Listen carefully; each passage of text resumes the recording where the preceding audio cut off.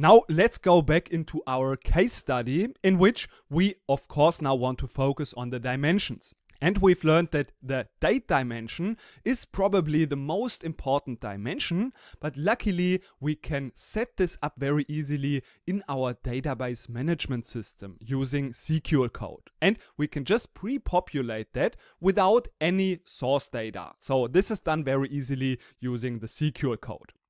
Of course, this course now is not supposed to be a SQL course, and that's why we won't dive into all of the specifics of that code, but you can just see this as an example, as a quick demonstration of how things could work and how it can look like in practice. Of course, we are using in our case PostgreSQL as our database management system, but if you are using Microsoft SQL Server or Oracle or any other database management system, you can also find the related code to create such a date dimension very easily through a Google search. So you can also use then the code that you find.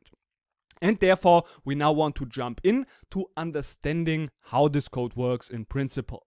So let's jump in and see that I have already created this code. So we see we have, of course, our date key, and then we have all of the related attributes. So let's see how we can set this up. And first, as I have already created this table, I want to also drop it again.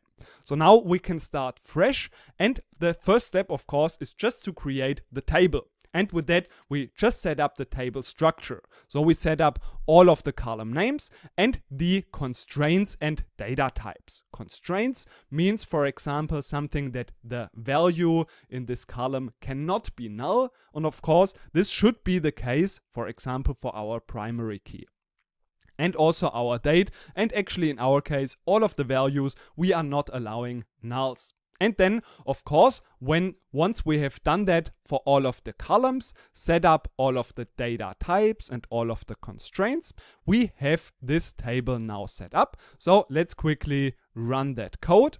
And with that, we have set up our table. So now it should be visible if you right click on the tables and click on refresh. You will now also see this date dim table.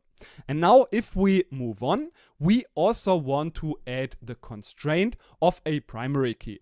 So we just use the column that's supposed to be our primary key and we add the constraint. So this is the constraint name and we use the alter table to add a constraint. So this is the syntax for adding a primary key. So we always should physically set up a primary key and denote one column as our primary key.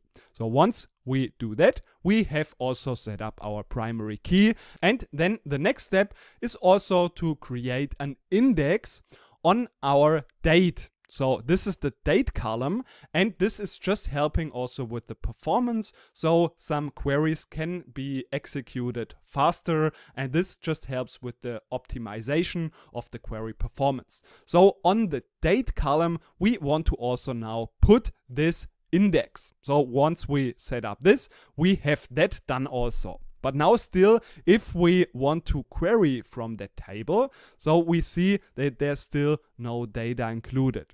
And therefore, we also want to insert data in this table. And that's what we are doing using this insert into command.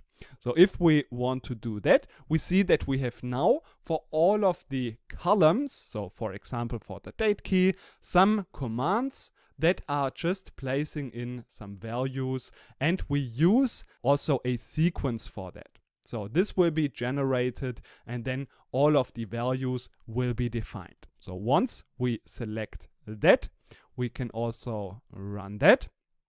And then once we have also executed that code, we can now again select that table and see if there is now data included. And indeed, now not only the table exists, but also there is some data included. And we can also see that the date key is our primary key. And this is now what we want. And now we can use and reuse this table many times. And if we scroll down, we can see that now this is going to the point of somewhere very late in the future. So this can help us now for the next, let's say, 10 years.